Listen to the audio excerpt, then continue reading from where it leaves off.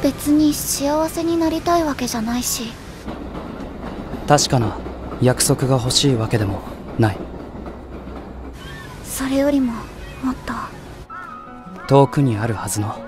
どこか。俺私ははそこに行きたいんだ。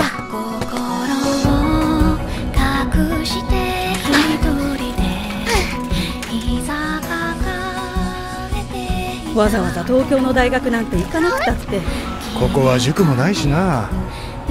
やべそろそろ塾だ。じゃあなつもありがとうご勉強ざいます。大丈夫かな？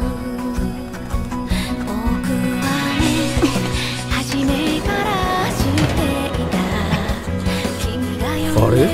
どうしました？いや単純なミスも照明の組み立てもこの子たちよく似ててね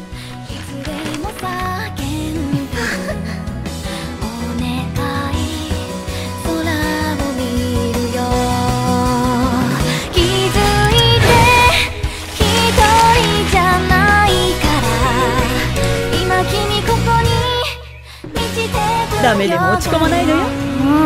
行ってきます。行ってきます。そういえば今日か。どうしたかな？あの子たち